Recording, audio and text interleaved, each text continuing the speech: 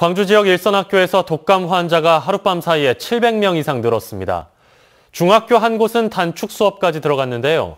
집단 생활을 하는 특성상 백신 접종률을 높여야 한다는 지적입니다. 한신구 기자의 보도입니다.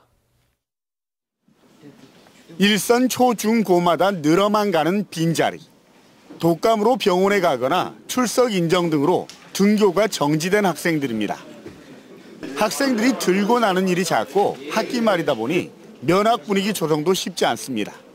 독감마저 이렇게 학교에 갑자기 이렇게 닥쳐와서 수업하는데 학생들하고 같이 호흡하고 수업하는데 상당히 집중이 안 되고 있는 광주에서는 어제 221개 학교에서 2,459명의 학생이 독감에 걸려 이렇게 등교를 하지 못했습니다. 전날에 비해 700명 정도 늘어난 겁니다. 1학년 학생을 중심으로 독감 환자가 증가한 광주의 한 중학교는 단축 수업으로 하교 시간을 한두 시간 앞당기기까지 했습니다. 학생들이 이렇게 독감에 취약한 이유는 집단 생활과 낮은 백신 접종률 때문입니다. 15세에서 18세까지 독감 백신 예방 접종률은 20% 남짓. 집단 생활을 하는 특성상 다른 연령층보다 빠르게 확산될 우려가 큰데 65세 이상 노인층의 4분의 1 수준에 불과합니다. 학생들이 해마다 인플루엔자 감염 취약군이 되는 이유입니다.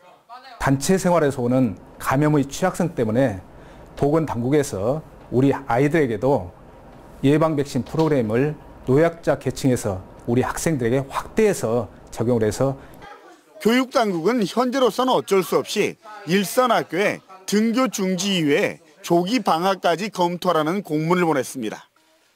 그렇지만 학교별로, 학년별로 환자 발생률의 차이가 커서 쉽게 결정을 내리지 못하는 사이에 독감 환자는 계속해서 늘고 있습니다. MBC 뉴스 한신구입니다.